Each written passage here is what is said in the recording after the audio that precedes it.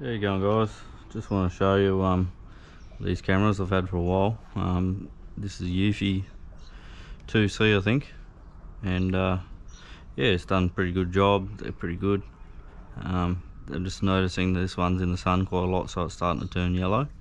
So I've bought this um, little silicon sleeve for it to um, try and help protect it and um, yeah it's only worth a couple of dollars off AliExpress so we thought well cheap insurance for these cameras.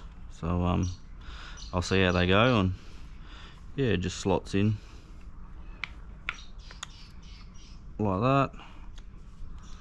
And uh, yeah it's got the little hole there to mount it and um, you know it's got the speaker clear and um, you can still plug in your solar panel. There you go. All right. Happy days